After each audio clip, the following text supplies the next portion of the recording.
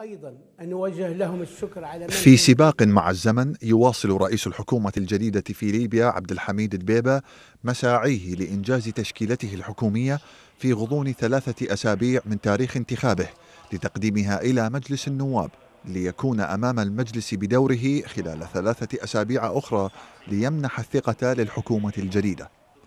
غير أن الأمر لا يقف عند قضية تشكيل الحكومة أو مسألة حصولها على ثقة البرلمان.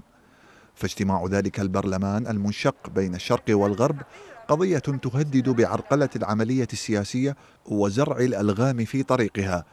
إذ أن تصريحات بعض النواب تتحدث عن جلسة منح الثقة للحكومة في طبرق بينما يتحدث آخرون عن عقدها في طرابلس. في حين ذهب البعض إلى اقتراح مدينة صبراتة لعقد الجلسة المنتظرة.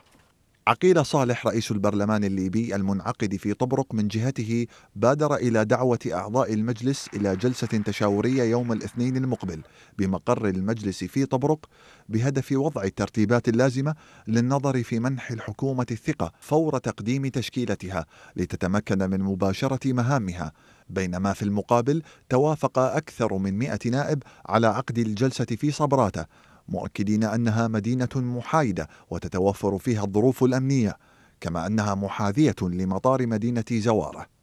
وأمام احتمالات فشل مجلس النواب في عقد جلسته ومنح الثقة للحكومة فإن محللين يشيرون إلى أن وثيقة البرنامج السياسي الوطني للمرحلة التمهيدية للحل الشامل التي أقرها ملتقى الحوار السياسي وعدها دستورا مؤقتا للبلاد تنص على أن ملتقى الحوار السياسي له الحق في الاجتماع ومنح الثقة للحكومة إذا فشل مجلس النواب في ذلك ما يعني أن الاتفاق السياسي الأخير ربما كتب فصل النهاية لمجلس النواب الحالي تمهيدا لمرحلة ليبية جديدة تستكمل أدواتها السياسية بإجراء الانتخابات العامة نهاية العام الجاري.